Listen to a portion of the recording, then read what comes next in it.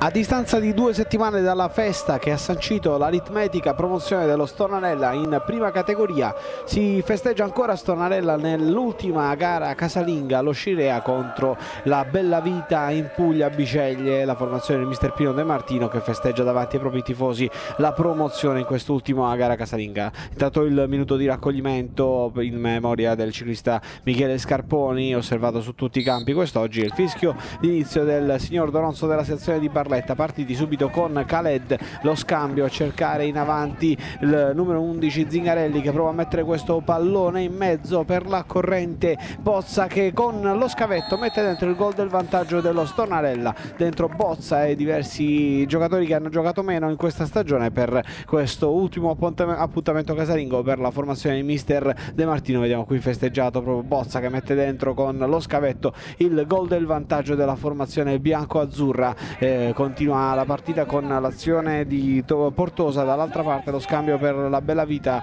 Prova la conclusione dalla distanza il numero 10 De Lorenzo. Poi ci prova anche dell'olio dalla distanza pallone alto sulla traversa. Nessun pericolo per eh, Gadaleta poi ancora la conclusione avanti per la vita ancora pericoloso. Qui il calcio d'angolo con il colpo di testa a mettere in mezzo di Dall'olio e poi la conclusione di Dipinto che mette dentro il gol del pari per la formazione ospite festeggiato Dipinto che porta le due formazioni sull'1-1 e qui incolpevole Gadaleta e poi ancora la conclusione in avanti il gol di Michele Ciccone che mette dentro il gol del vantaggio dello Stornarella che si riporta avanti con eh, la conclusione vincente di Michele Ciccone ancora in rete con il, la conclusione sbilenca di Zingarelli che diventa un assist per Ciccone che si fa trovare pronto e batte il portiere ospite poi ancora qui con il pallonetto e gol da parte di Magaldi che mette dentro il gol del 3 a 1 per la formazione di casa, festeggiato anche Magaldi che mette dentro un bel gol.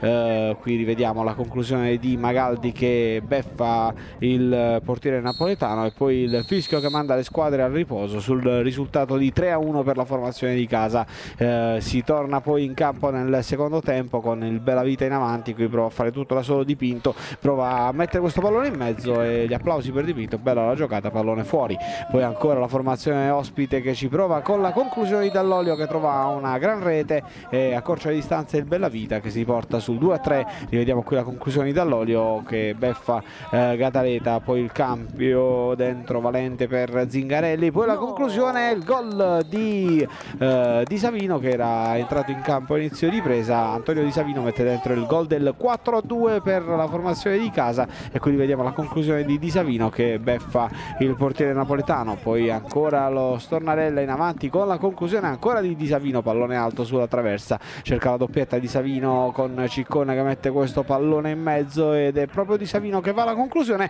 e la trova la doppietta promessa al tecnico De Martino, se la ridono in panchina perché Di Savino entra e fa due gol come promesso al tecnico eh, Stornarellese, rivediamo qui la conclusione di Di Savino, ovviamente c'è Goliardia in campo per questa ultima giornata, segnerà anche il Bellavita, poi finirà 5-3, qui il fischio finale che manda le squadre negli spogliatoi, vediamo anche i fedelissimi che festeggiano lo Stornarella Calcio che vince il campionato di prima categoria e come eh, recita la maglia celebrativa è la prima volta in assoluto nella storia del calcio stornarellese che una formazione di, di Stornarella vince un campionato. Solitamente con promozioni eh, tramite playoff e ripescaggi eh, si è arrivati a scalare le categorie e lo Stornarella torna così in prima categoria nella prossima stagione. Qui festeggiano i ragazzi di Mister Pino De Martino e con le immagini noi vi salutiamo per questa partita che si chiude quindi sul 5-3 per la formazione di casa.